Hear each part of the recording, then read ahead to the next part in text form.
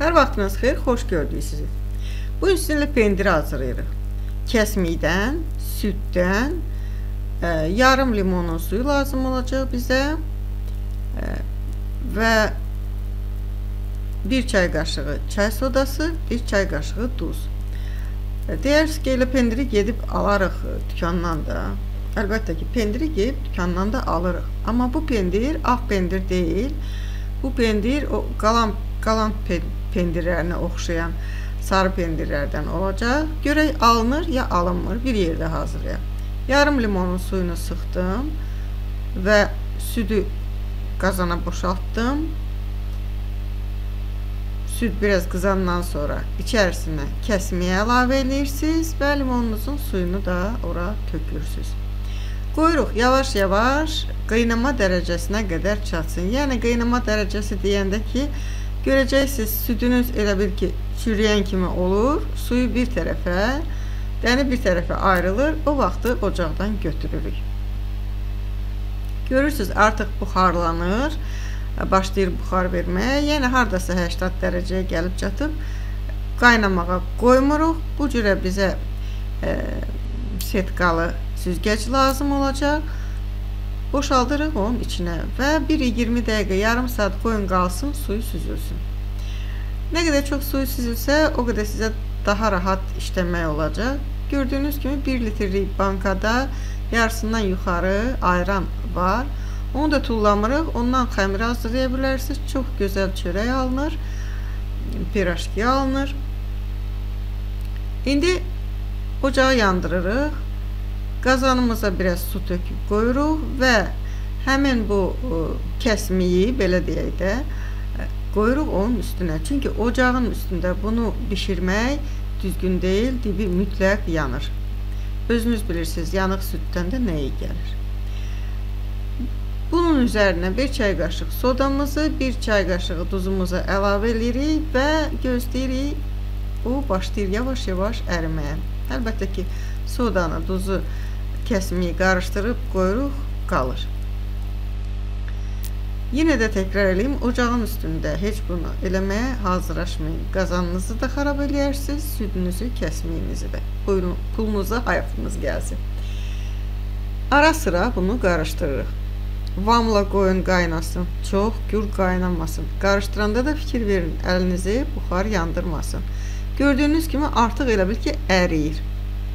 Əriməyə bizə lazım deyil. Bizə lazımdır ki, bu yavaş-yavaş o tərkibində olan ə, suyu buxarlandırsın. Bu bir, ikincisi ə, soda bunun tərkibində olan o turşunu ə, hə fikirləşərsiniz ki, bundan soda soda tamı gələcək. Zəhərli mənim özümün acığım gəlir. O iydən də, tamdan da.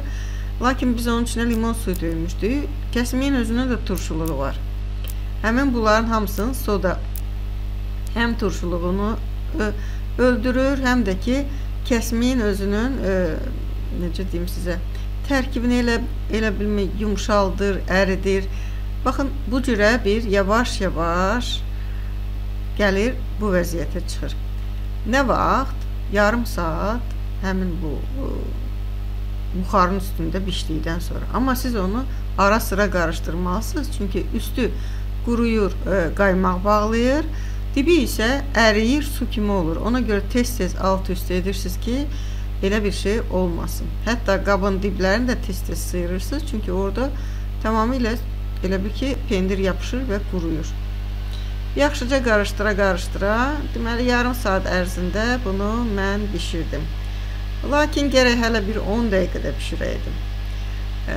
Çünki yenə dedim, ocağın gücü çox da açılmamışdı, az açmışdım. Qorxurdum ki, o tez əriyər və başının üstündə dayanmaq da istəmirdim sözün düzü.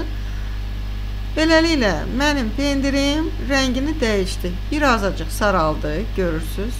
Qabaqdı, pendir saralıb. Həddindən artıq yağlı oldu. Oxşayır kəsmik yağlı imiş. Çünki südü bir yarım yağlılıqda götürmüşdüm. Heç e, onu da deyim ki, az idi yağlılığı. Bişirdiyim indi qablarıma yığıram. Görün bu soğuyandan sonra həqiqətən o sarı pendir kimi olacaq ya yox.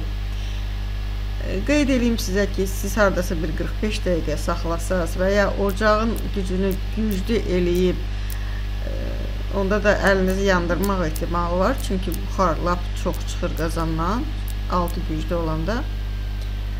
Yarım saata bu cürə bir pendir alındı. Soyusun görək bunu kəsmək olacaq, yeyəndə tamı necə olacaq, o barədə də mən sizə danışaram.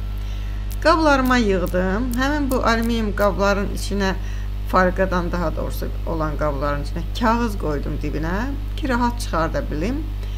Həm də ki, həmin o farqanın tamı da keçməsin ha. 6 dənə belə e, yarım yumru və 2 dənə bu cür oldu. E, soğuyandan sonra mən bunu çəkdim. 1 kilo 150 qram gəldi. Əlbəttə ki, az deyil. Və görürsüz, bu cürə kəsilir. O yumuşaq qalan pendirləri var o cür alındı. Gələn dəfə mən bunu bişirəndə bir 10-15 dəqiqə çox bişirərəm ki, biraz da bərkisin.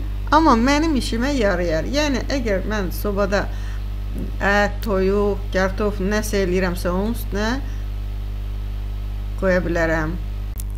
Qonaq süfrəsinə dilim-dilim kəsib qoymaq olar. İki dəfə ucuz başa gəlir.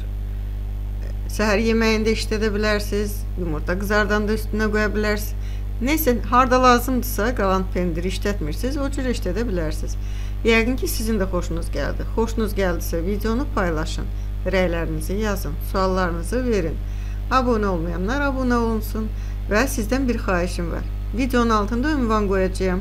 Bəlkə videonun içində də qoydum, bilmirəm. O, ikinci kanalımın yeni çıxan videolarının ünvanıdır. Əgər sizi də maraqlandırırsa, toxuma dərsləridir. Orada girib baxa bilərsiniz. Və abunə olsanız çox sevinərəm. Çünki YouTube-un yeni qanunlarına görə abunəçilərin sayı çox olmalıdır ki, oradan yəni o videolara da reklamlar qoyula bilsin. Hələlik bu qədər. Sağ olun, sağlıqla qalın. Cibiniz dolu, süfrəniz ruzu bərəkətli olsun. Canınızdakı sağlam olsun. Çünki sağlamlıq olmayanda heç bir şey olmur. Allah həmişə sizə uğurlar gətirsin. Sağ olun, sağlıqla qalın. Xudafiz görüşənə qədər. Videoya baxdığınız üçün təşəkkür edirəm.